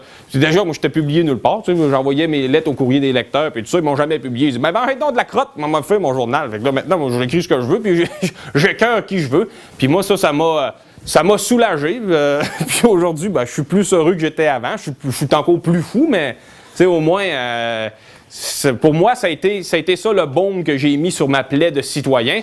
Mais tu sais, pour d'autres, ça peut peut-être être d'aller travailler au PQ, lui botter le cul ou qui allume que Télé-Québec, quand on est au pouvoir, on pourrait peut-être faire de quoi avec ça. Ça pourrait peut-être être pour d'autres. Télé-Québec, faudrait peut-être, c'est ça que je voulais faire. Mais la télévision, c'est lourd. C'est c'est sûr que c'est. euh, mais c'est sûr que, bon, il y aurait, il y aurait certainement pu faire quelque chose avec ça, mais Mais dans le programme du PQ, c'est de relancer Télé-Québec, mais après l'indépendance. après l'indépendance, ben ouais, mais après l'indépendance, C'est pas après, c'est avant. Ben, en tout cas, pour moi, là, ça serait ça qui aurait dû être fait, là, tu sais. Ben, euh, je travaille à Télé-Québec, ben, je travaillais, puis euh, je suis machiniste au décor. Euh, là, je travaille plus là. Mon boss a perdu son emploi, puis le boss de mon boss, euh, en tout cas, c'est sûr qu'il était avec d'être à pension, mais euh, le poste a tout été fermé. Ben c'est- rendu tellement. sais, Télé-Québec, euh, les producteurs privés, c'est rendu quoi? La, la- la production privée, il me semble que c'était 97-98% à Télé-Québec. Ah, On dit que c'est une télévision publique, mais c'est- des producteurs privés Ah ouais. qui, qui diffusent leurs produits sur ce, dans ce- via ce médium-là. Puis en plus, ces producteurs privés-là sont hyper subventionnés par de l'argent public. Fait que finalement, on se retrouve à payer pareil pour cette- ces émissions-là. Mais euh, bon, quand le privé rentre, normalement, bon, les, salaires diminuent puis les conditions. bon, puis en plus, à Télé-Québec, si le PQ, lui, fait pas grand-chose, euh, les libéraux, eux autres, ils ont quand même euh, passé un message assez rapidement. Pa- Paul Beaugrand, comment il s'appelle, euh, était à la tête de Télé-Québec. c'est ça. Bon, ils ont placé le, pion aux autres des libéraux. là. Ils ont dit, bon, non, non, ça c'est un peu trop, parce qu'elle était au jour au journal du PQ dans les années 70. Fait que là, ils ont mis leur monde, les autres. Là. C'est pas Michel Fortin, Je sais plus c'est qui qui ont mis. euh, celle qui était à Radio-Canada avant? Ouais, je pense que c'est ça. C'est euh, la femme de Pierre Fortin. Euh, de- de- Ah ouais? Je savais pas. Mais c'est ça, tu sais. euh, je suis bien mal placé pour dire quoi faire au monde, mais moi, je te dis, moi, ce, que, ce qui m'a soulagé, c'était de, de trouver ma voie à travers tout ça, puis de, de combattre le système. Moi, je combats le système, puis euh, c'est un système qui pue, puis je l'haïs, fait que je m'arrange pour y faire mal. Non, mais ton, euh, ta perspective est intéressante. Puis pour l'identité québécoise, nous, je pense qu'on enchérit dans ce sens-là. L'important, c'est c'est de critiquer la fameuse machine Wheeler, comme Patrick mentionne. C'est c'est archi important. C'est c'est une ressource euh, qui est très grande euh, à ce niveau-là pour la critiquer. Euh, je pense que c'est c'est une des choses qu'on ne fait plus aujourd'hui en tant que en tant qu'être humain. Là, je, vais, faire un peu de philosophie, mais la réflexion, on ne prend plus le temps de réfléchir. La- les médias, le média est aussi un outil de consommation. Euh, Exactement. consommer énormément. Et de l'information euh, en, en concentré, on nous en livre quotidiennement. C'est à nous d'être euh, d'être vigilants. parce que C'est une vigilance quotidienne. C'est un- c'est une résistance quotidienne, ni plus ni moins. Moi également, pour avoir et travaillé pour Radio-Canada et au cabinet de Landry, euh, on apprend. On apprend énormément de vigilance. Puis, nous, c'est un petit peu la mission qu'on se donne avec l'identité québécoise par l'entremise de nos conférences, en recevant des gens comme Patrick. C'est- d'alimenter un dialogue puis un, débat de société sur, euh, ces vraies questions-là. Euh, mais d'abord, et avant tout, à la fin de la journée, c'est on se couche avec soi-même, puis la réflexion euh, est de mise pour, être, euh, pour être vigilant le matin et bien critiquer notre journal euh, qui nous accompagne avec notre café. Je vais juste avancer un point, en même temps, je vais la, tourner en question. Il y a un point qu'on avançait dans les textes qu'on a publiés, la génération critique, c'est de dire que récemment, ou ça a peut-être été tout le temps comme ça, mais qu'il y avait une réduction de l'espace critique, là, disons plus au niveau de la littérature. Puis la littérature, évidemment, c'est une des façons qu'on peut accéder à notre identité ou, disons, faire vivre le, culture québécoise. Puis moi, je me demandais, euh, est-ce que dans le québécois, est-ce que vous avez comme un, un peu un espace par rapport à, recenser les, les livres, euh, Oh, peut-être les romans ou les... Ouais, ben nous, c'est sûr qu'on a toujours à peu près les, les deux, trois dernières pages où on parle, euh, on parle de littérature. Euh, puis là, tu mets le doigt sur quand même quelque chose. C'est sûr que nous, euh, bon, on en parle. Tu as l'Action nationale aussi qui vient de lancer leur cahier. euh, bon, ça, c'est- très bien. Mais je pense que le problème est, est plus important que simplement, bon, y a-tu des places où on parle de la littérature québécoise? Le problème, c'est aussi qui subventionne les maisons d'édition. Moi, il n'est pas de subvention, hein? Parce que quand tu vas chez VLB, va un petit peu partout, le, le- le pamphlet indépendantiste, la place de la littérature indépendantiste, puis même, euh, je te dirais, euh, tu le- l'altermondialisme, euh, bon, euh, t'as t'as éco-société, euh, mais tu c'est de plus en plus difficile pour ces gens-là de risquer. Tu sais, VLB est rendu qu'ils ont publié Pratt, tu euh, puis je pense aux autres qui ont publié Jocelyn Les Tourneaux. Sinon, ils étaient chez. Je suis pas sûr où ce qu'ils étaient, mais les subventions, c'est- le Québec il est plus capable de subventionner l'édition. Les subventions viennent principalement du fédéral, Conseil des arts. Puis en plus, ben, Québécois a mis la patte sur. euh, dernièrement, ils ont acheté un lot de maisons d'édition, VLB et compagnie. je ne sais plus combien ils en ont. C'est terrible. Fait qu'il te reste les indépendants au Québec. Tu avais les intouchables. Ben, tu as les intouchables, mais ils font presque plus d'essais politiques. là, depuis un bout, ils font beaucoup plus. Bon, littérature jeunesse, ils ont mis un peu ça de côté, euh, l'essai politique. Fait qu'il te reste où là, comme maison indépendante, puis tu peux te dire, bon, on, se risque à y aller, puis euh, on dépend pas des subventions, on n'a pas beaucoup. Là. Nous autres, Conseil des arts, on n'a pas donné de subventions. Là. Ben, les éditions Trois Pistoles euh, publient beaucoup. euh, Pierre Dubé, je crois. euh, Ouais, il a publié. euh, ouais, c'est ça, il t'en reste quelques-uns. C'est moins pire, c'est moins pire que les médias. Ouais, ben VLB, ben, c'est sûr, là, c'est le, là, c'est le vrai aux éditions Trois Pistoles. Euh, c'est sûr qu'il n'est pas, il est pas reconnu pour avoir la langue dans sa poche. Donc, euh, mais il t'en reste quelques-unes, mais c'est pas, tu sais, c'est comme un peu. Tu as vu ce qui est en train d'arriver au cinéma. Le cinéma, euh, Falardeau, je pense, ses luttes, ses luttes épiques euh, ont quand même été des, des symboles assez puissants sur la difficulté qu'il y avait pour certains créateurs indépendantistes à, à- obtenir des subventions qui sont financées avec notre argent aussi. Hein. Falardeau, il s'est souvent fait dire Ouais, toi, l'indépendance, mais tu te prends le style, l'argent du, du fédéral? Ben ouais, c'est notre argent qui est là aussi. Puis Falardeau, lui, il a pris cet argent-là pour combattre le système. Je vois pas qu'assez qu'on peut y reprocher, là. C'est- Parce que depuis tantôt, là, moi, ce qui me frappe le plus, c'est qu'on parle toujours d'argent, de subvention, blablabla. Mais y a-tu moyen d'aider vraiment, de financer quelque chose, de monter quelque chose? Au Québec avec un OSBL pour aider tout ce qui est souverainiste au Québec? Des campagnes de financement, des trucs comme ça, est-ce qu'on a déjà essayé ça? Ben, t'as les campagnes, tu sais. Là, je je, veux- pas être trop méchant envers le PQ parce que, c'est- aussi mon parti, mais... Non, mais c'est parce qu'il y a des affaires qui m'ont révolté, C'est pour ça que je, suis très à l'aise tout seul dans mon coin. euh, bon, euh, c'est pour ça que je fais diminuer toujours de plus en plus euh, la publicité, l'importance que ça occupe dans, notre financement parce que quand tu vends de la pub, tu vends de la liberté. Fait que, hein, t'as beau la vendre à n'importe qui, tu vends ta liberté. Quand tu vends trop de pub au PQ, c'est dur de taper sur le PQ parce qu'après ça, ils disent que tu n'auras plus de pub. Fait que, tu sais, euh, moi, je regardais des choses qui se passaient au PQ qui m'ont sacré à terre. Tu sais, quand tu te dis qu'ils envoient les, euh, euh, le Conseil national des jeunes du PQ à l'été, ils prennent l'argent des militants, l'ar- l'argent des cartes d'amende, qui est durement ramassé, puis ils t'envoient des flots foirés dans un, dans un hôtel, ça coûte 100 000. Là. T'aurais pu la mettre ailleurs, cet argent-là. là. Moi, c'est ça. On a ce problème-là, puis pas seulement dans le mouvement indépendantiste, dans à peu près toutes les organisations à vocation dissidente. C'est Christy, on n'a jamais été capable d'adopter une approche commerciale, puis investir. Tu sais, les grosses compagnies, tu sais, je regardais ça, Brascan, comment ça s'est fait, cette affaire-là. là. Les Bromfman, ça, c'était les cousins de Toronto. Ils ont, commencé à acheter des actions à gauche, à droite. Tu sais, la FTQ, le Fonds de solidarité, pourquoi que le mouvement indépendantiste n'ait pas fait un truc comme ça? Tu sais, des actions. Pourquoi on n'a pas fait ça? Parce que notre argent, on la met dans des foleries. On va envoyer foirer des flots à l'hôtel, ils vont rester, ils vont poser des pancartes, ça va être plus facile. C'est ça. Tu sais, c'est c'est que ça donne, ça. Ils arrivent de là, bien, je n'ai rencontré une, me dire, ben, ils n'ont rien appris, puis ça n'a rien donné, cette affaire-là. Puis cet argent-là, on l'avait. Tu sais, le fonds Lausière. Sais, parce qu'avant, il y avait des héritages qui se ramassaient à gauche, à droite dans le mouvement. Il, il ça dans n'importe comment, n'importe où. Euh, le fonds de la souveraineté au PQ, euh, tu, dois avoir vu ce qu'ils ont fait avec ça. Ça, ça a rien donné de ben, ben bon, là, tu sais, Sylvain Simard, en tout cas, bon. Fait que... Moi, je, regarde ce qui se fait ailleurs. Les autres mouvements de libération nationale, qu'est-ce qu'ils ont fait? Tu regardes les Corses, vendent de l'alcool. Hein? Ils ont fait des liqueurs. Et quand tu arrives là, tu vois, tu t'achètes euh, des souvenirs. Tu bon, tu arrives avec. Ils ont, même le logo du FLNC, c'est ces alcools. Tu sais, bon, c'est assez. hein? Bon, ils se permettent d'aller assez loin. Les Basques, eux autres, y avait des, auberges de jeunesse, ils ont des, pubs, des bars. Euh, bon, en Irlande du Nord, même chose. Euh, ils, ils ont adopté une approche commerciale.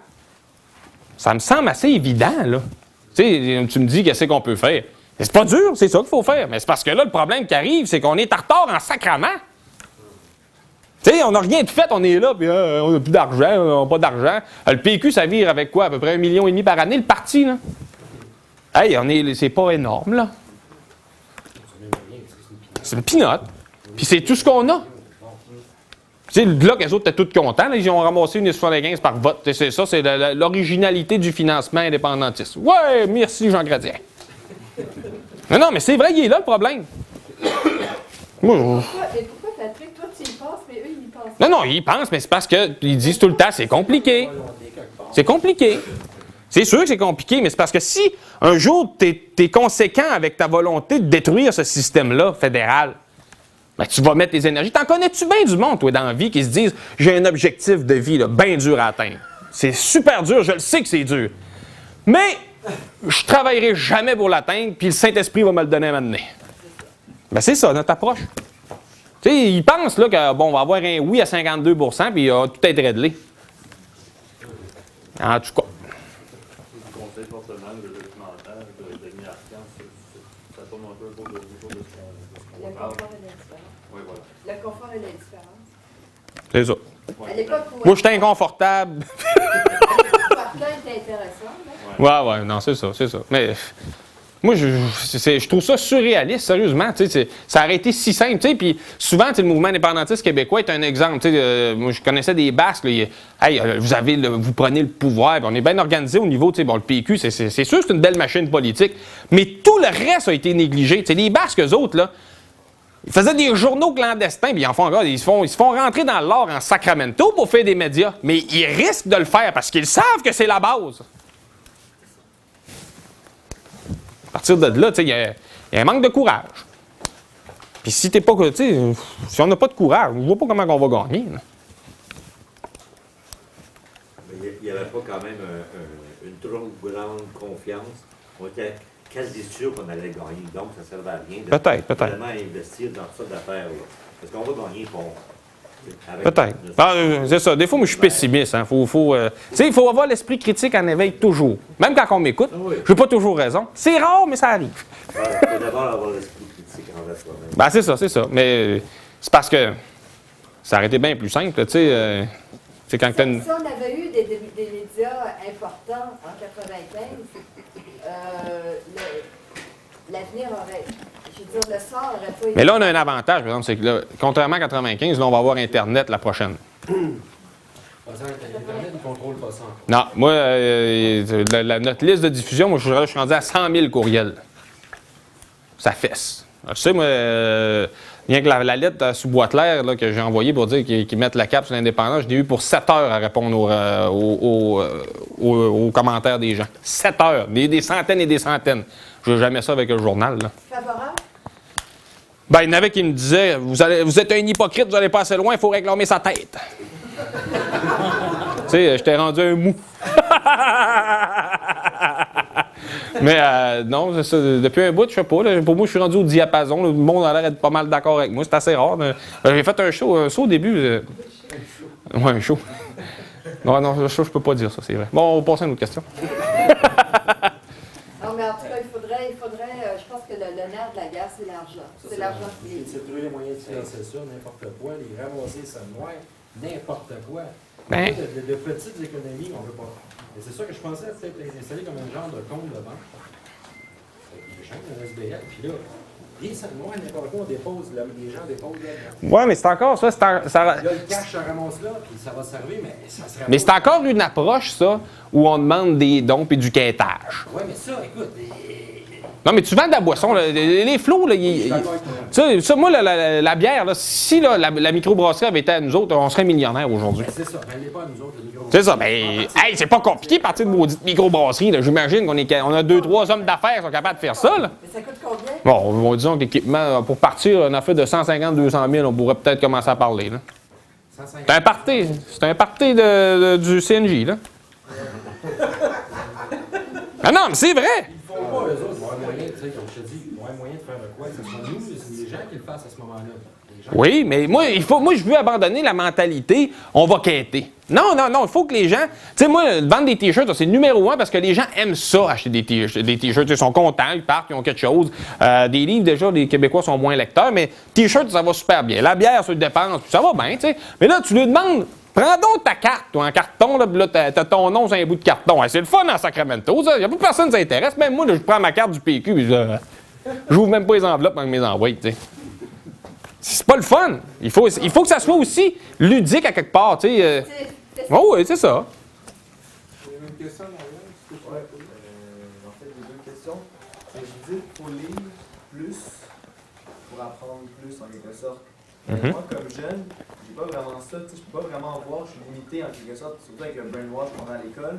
Je peux pas vraiment apprendre plus sur qu'est-ce qui se passe, tout ça. C'est important aussi de, de viser les futurs électeurs qu'est-ce que c'est la vraie nature euh, du euh, pas mal du, du cercle politique au Québec?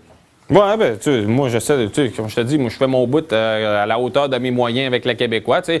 Presse alternative, tu as souvent un point de vue différent des médias de masse, tu. C'est, déjà un- une très bonne chose pour le citoyen de fréquenter autre chose que les médias traditionnels, tu sais, que ce- sais, c'est sûr que le Québécois, tu vas être euh, au contact d'un discours pur et dur, mais tu peux aller au Quack qui va être euh, euh, plutôt anarchisant. Tu peux aller après ça, tu as le mouton noir, tu peux aller. Il n'y en a pas beaucoup, remarque, là, mais tu sais, parce que tu as aussi ce problème-là au Québec, c'est que t'as presque, tu sais, les, programmes de subvention qui sont qui existent, bon, sont souvent, c'est souvent bon, des, trucs comme Québécois, Séjour, puis McLean, tout ça, qui l'actualité, qui ramasse le gros des subventions. Puis les, médias plus marginaux ont à peu près rien. Alors que, tu sais, dans des pays comme euh, bon, le monde scandinave, on s'assure que les médias qui défendent des points de vue différents du gouvernement soient, soient privilégiés dans l'octroi des subventions. Mais tu sais, c'est vrai, je comprends que c'est un méchant défi.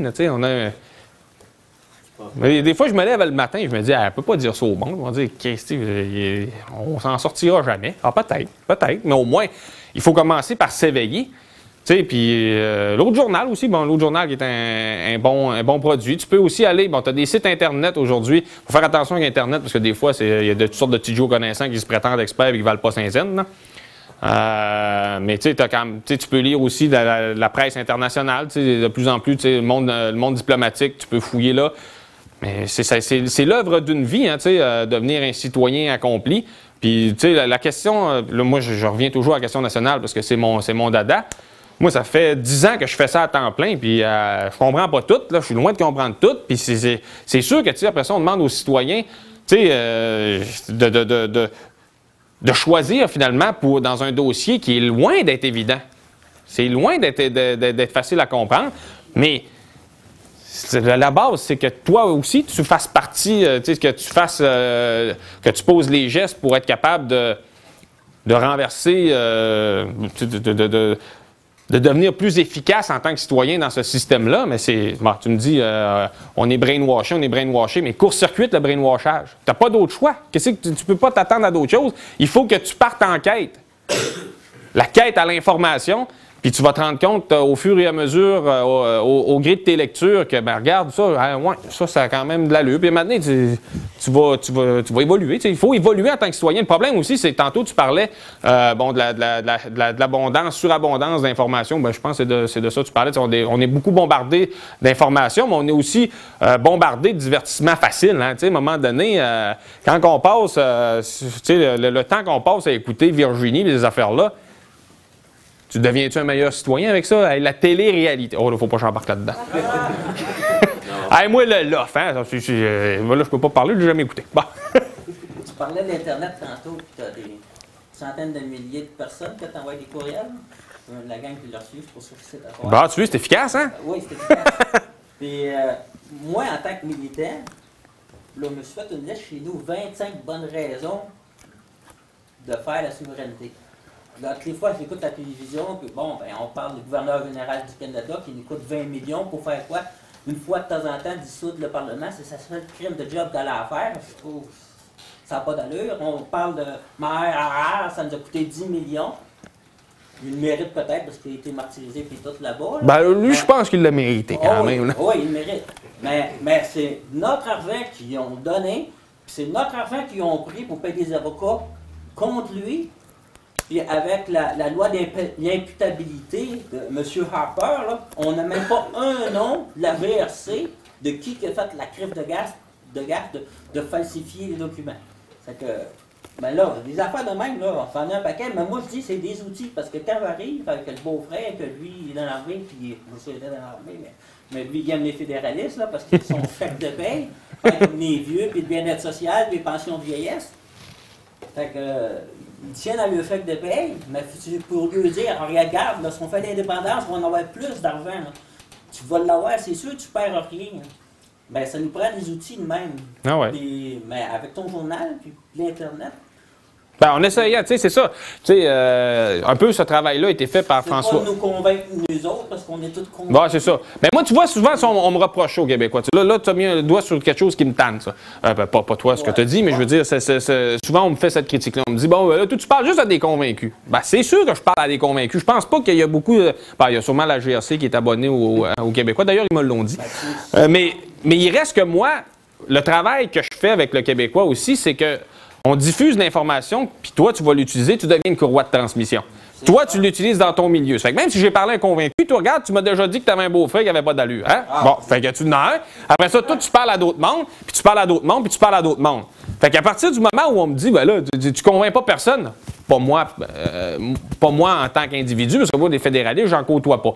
Mais ma gang qui, con- qui, qui consomme euh, ce qu'on écrit, ben eux autres, par exemple, ils, ils- ils- ils continuent euh, ce travail-là. Puis tu je pense que ça, c'est un bel accomplissement qu'on fait. Puis euh, je pense que c'est.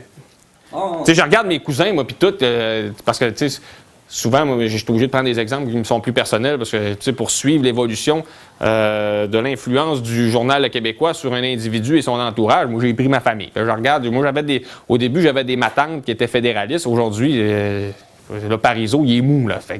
Mais ça, c'est à force de lire le Québécois.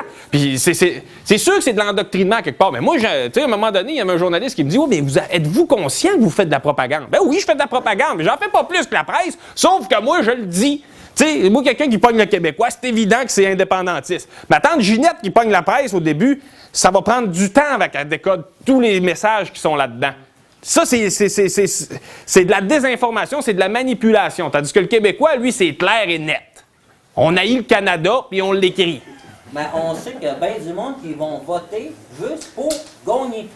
Ah, ouais, ben là. Ils votent pour gagner. Ils vont voter pour le parti qui gagne. On sait que les sondages, comment c'est actuel Ah, ouais. là, avec l'affaire des, des immigrants qui parlaient les arrangements à l'amiable. Mais là, t'sais, l'autre, il a, il a poigné des votes, Dumont a poigné des votes au Parti québécois. C'est le temps de sortir un sondage, clope, puis là, on... Ben ça, quand tu es capable de revirer, tu sais, c'est- souvent c'est symptomatique. euh, tu sais, quand tu revires ton électorat rapidement comme ça, c'est symptomatique de. C'est un problème au niveau des électeurs qui sont, sont plus ou moins bien informés. Tu sais, souvent au Québec, les gens votent Ah, lui, sa face ne me revient pas, on va voter pour l'autre. Ben, c'est terrible d'une démocratie quand ça se passe de même. Avec l'Internet, puis... On le voit pas. courriel, vent, fin de lettre, comme tu dis tantôt, et mon beau-frère, mais il y en a bien d'autres aussi. Fait que là, tu t'es fait suivre. C'est ça. Fait que finalement, j'ai 200 000 courriels sur ma liste. Tu t'avais quoi, 100, 100 quelques mille? hein? Ouais, ben là, je vais dire 200 000 maintenant, là, tu me l'as donné l'exemple. Ouais, tu veux, il faut toujours être critique, me compter des menteries, moi, là. ben, tu me donnes les outils, là, puis euh, zap, pogne ça, puis nous autres, on, on file ça ailleurs, puis là, si moi, je l'envoie à 5 ou 6 personnes, que les autres aussi, ils l'envoient 5 à 6, Ah ouais. pas de temps que la pyramide a grossi. Ben, puis ça, je pense, ça va être une. Mais ça va être une- une- un de nos avantages dans une prochaine campagne référendaire ou peu importe la façon dont on mènera le combat. Internet. C'est sûr que 95, on ne l'avait pas. Là, on l'a. Mais regarde, euh, encore une fois, puis là, je suis pas fin pour le PQ, là, mais on n'a pas fait grand-chose. Regardez le site. Là, ça vaut... C'est assez ordinaire, là. Tu sais, puis le Conseil de la souveraineté, même chose. Il y avait un forum, ils trouvaient que ça chicanait trop, ils l'ont fermé. Fait que c'est moi qui l'ai. Fait que là, tous les, les, les, les- chicaneux sont sur mon site.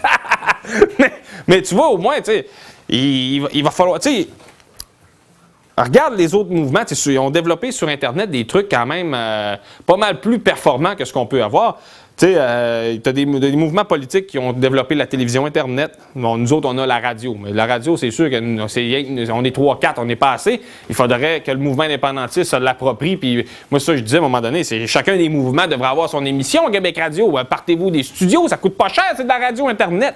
Puis tu sais, le monde, tu peux te, conne- tu peux te connecter là-dessus de, de n'importe où. Puis après ça, tu peux faire de la, balo- de la balado-diffusion. Tu peux. Bon. Ben, Mais on a, le PQ n'a rien fait de ça. Puis. euh, mais le monde, puis là, quand je regarde, y a- comme je disais tantôt, il n'y a pas une journée à la télévision, là, ils parlent de Boeing, là, puis les contrats qui ont été donnés ailleurs, en Ontario, partout. Puis Là, après ça, on se demande fait que Montréal n'est plus la métropole, tout est rendu à- en Ontario, Ah ouais. mais le gouvernement aussi. Puis là, les, nos charmants élus du conservateur, ici, au, au Québec, ils n'ont rien fait. là. non. Fait que, fait que pogner tous ces, ces exemples-là, là, c'est 1950, là 50 bonnes raisons de faire la souveraineté. Là, on pousse ça au monde, c'est des outils. Là, l'autre à l'autre bout qui regarde ça, puis. Ouais, ben moi, je veux être fédéraliste, mais là, je suis plus trop, là. euh, franchement, euh, c'est quoi que j'ai de, de bon point à être fédéraliste? là, Visiter les Rocheuses. Même si, si Québec est séparé, je peux y visiter pareil, les crimes de Rocheuses. Ils vont pas, ils vont se dépla- se déplacer. On va disparaître. Pas on va fermer le fleuve, nous autres. on peut aller voir les montagnes. voir- Il n'y a plus de bateaux qui se rendent dans les grands lacs. On va voir que ça va. hein. Patrick, on, parlait de- on a parlé beaucoup de financement, que ça a des problèmes euh, de la lutte d'indépendance. La mobilisation aussi, c'en est vraiment un- la mobilisation euh, citoyenne. Qu'est-ce qui explique en fait le manque de mobilisation? Puis, Qu'est-ce que tu veux dire, le manque de mobilisation? Ben, je veux dire, euh, des événements ou des manifestations ou des trucs euh, comme OK, tu veux dire que nous, on prend. On prend Un t-shirt, c'est quelque chose de concret. Les gens achètent un t-shirt, puis ensuite, euh, mais il n'y a pas comme de mouvement de masse ou est-ce que c'est les gens ne ressentent pas le besoin? C'est-tu euh, l'abrutissement des gens par euh, des, des produits culturels qui sont créés? C'est quoi qui. C'est parce qu'il faut faire attention. Je suis pas sûr si tu veux dire que la population est plus intéressée par la question nationale, puis c'est pour ça qu'il n'y a pas de manifestation, ou si tu dis que euh, ceux qui sont, qui, qui sont dans le mouvement indépendantiste n'en organisent pas. C'est dans, dans quel. ben, la dernière partie, en fait, le mouvement indépendantiste. N'en organisent pas. Ben, aussi au niveau du, du politique euh, globalement, qu'il y a un manque de mobilisation. Mais c'est parce que t'en as besoin, mais tu sais, c'est. Tu sais, quand tu regardes, c'est qui vraiment le mouvement indépendantiste au Québec? C'est pas long que tu te rends compte que c'est pas beaucoup de monde. Hein? On voit que tout le temps les mêmes faces partout où on va. Ça fait qu'à un moment donné, tu te dis, on est quoi? On est 400-500? 400-500 sans argent. Fait que là, tu l'as pas mal, ta réponse. Tu montes un événement, euh, tu montes un spectacle. Moi, c'est ça que j'avais dit à Gilles Duceppe. J'ai dit, là, tu veux faire le Conseil de Le PQ va monter le Conseil de la souveraineté en partenariat avec le Bloc. Le Conseil de la souveraineté, ça devrait servir à une chose. Un comité conseil de soutien au militantisme. Des flots veulent organiser de quoi? Ils veulent faire de, je sais pas, n'importe quoi. Un spectacle avec Loco Locas, puis on fait ça à telle place, puis là, on va, donner de l'information, n'importe quoi. Ils vont voir le Conseil de la souveraineté, on a besoin d'une subvention. On n'a pas d'argent, on voudrait organiser ça. Oui, parfait, mais nous, vu qu'on finance le projet, on vous accompagne dans l'organisation. Donc, tu formes ton monde en même temps. Les flots sont contents, ils ont la confiance du Conseil de la souveraineté. Puis avec leur expert conseil, tu, ramasses 3-4 bonhommes, tu dis, ben là, tu peux pas louer cette salle-là. Christy, avec ça, tu, vas, tu devrais attirer tant de personnes. Ça va te coûter trop cher. T'as-tu pensé à faire ci? T'as-tu pensé à faire ça? Non, non, Stifi, ils font une espèce de patente qui, qui est en cours, qui, qui, de la masturbation intellectuelle. Puis là, le conseil, ça sert à rien. On n'a pas besoin de ça. Non, masse d'organisations pour, euh, pour radoter les mêmes histoires depuis 20 ans.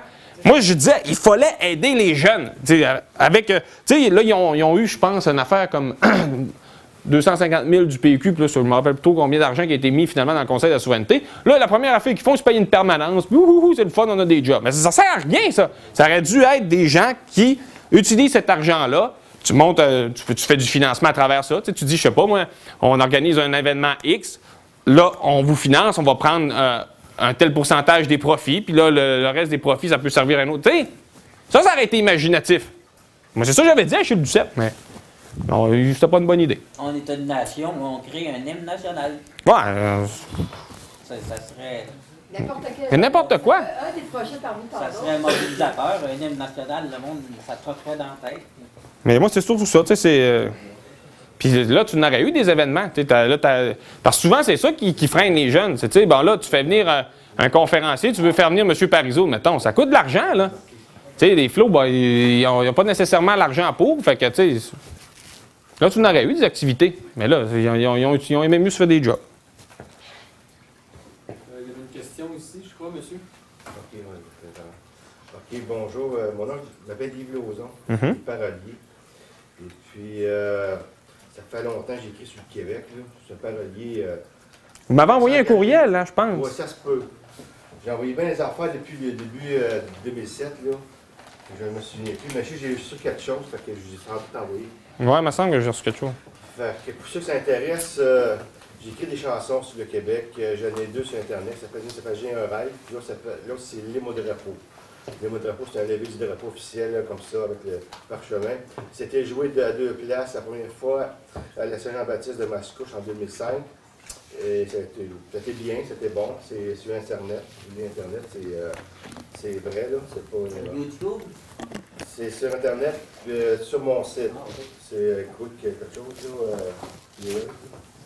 Qui- qui- Et puis euh, aussi, ça a joué à Joliette en 2006, les mots de repos. Puis euh, c'était un succès retentissant, 30 000 personnes euh, qui ont embarqué dans le texte. Là, dans le même, c'est, c'est, c'est, c'est pas moi qui le disais avant, c'est un parolier. Fait qu'il y avait mon interprète. Puis, euh, en cas, je sais pas si tu connais du monde qui, qui, qui, qui s'occupe de l'organisation Joliette, mais euh, le monde là-bas capotait. Là, euh, c'était, euh, senti quelque chose. Je, récitais le texte dans, la foule en même temps que le drapeau du Québec. Le monde me regardait, il voyait que j'étais le gars qui l'avait écrit. Puis, en tout cas, après ça, les feux d'artifice ont sorti, après ça, pop, pop. Nous, mon chum, on, on, on capotait, on, il a broyé, on a capoté. là. Fait que c'est pour dire que toi, toi, tu es un, écrivain qui, a sorti un journal, puis ça prend de l'argent, puis toi, c'est de la misère. Comme moi, je suis mon bord, je un parolier, je cherche du financement.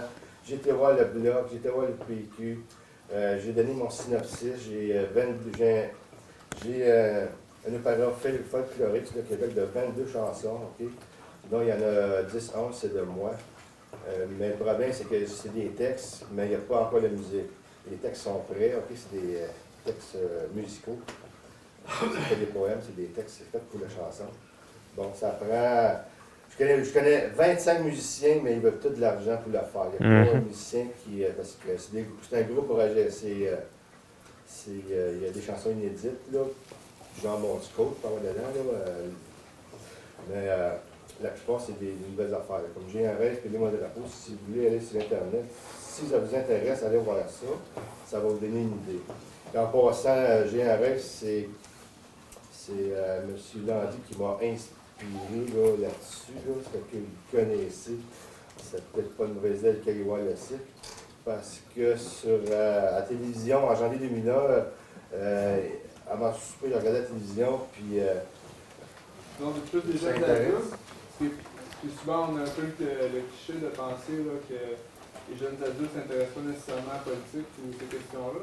Je me demandais, est-ce que c'est quelque chose qui vous a motivé à venir à soir ou est-ce que vous avez. euh, Tu sais, moi, voyons. Est-ce que vous êtes des gens qui. Oh, mais moi, je suis indépendantiste, je connaissais le Québécois, je voulais voir là, le peu qu'est-ce qu'il avait à dire comme tel. Ça fait longtemps que je suis. Finalement, j'aurais dû rester chez nous. Qu'est-ce qu'il avait à dire pour. euh, pour, euh, Mais la, la conférence a plus traité du, du journal, c'est quand même intéressant, mais j'ai aimé ça. Fait que t'aurais aimé mieux qu'on parle plus de la lutte. C'est ça, c'est parce que là, maintenant. La lutte, parce que c'est vrai, là, il y a comme une espèce de démobi- démobilisation de- du mouvement comme tel. J'aurais aimé ça savoir que si ça Mm. avait des idées, l'idée, sais, de, de- de comme créer des bars, tout ça, c'est sûr, ça serait une bonne idée pour financer tout ça. C'est clair qu'il y a un manque d'argent, puis là, le- si on se bat pas dans l'autobus pour la souveraineté, là, on va s'entendre ces temps-ci. ça, ça l'intéresse des gens, même à soir, là, il n'y a pas tellement de monde. Non, non, mais là, je suis pas connu non plus, là, tu sais. euh, Quand même, là, avec 100 000 courriels par, par Ouais, non, c'est ça. cinq bulletins. Mhm, mhm. C'est ça, je voulais voir c'était quoi l'avance. Mais il commence à être connu, là, avec la, la GRC.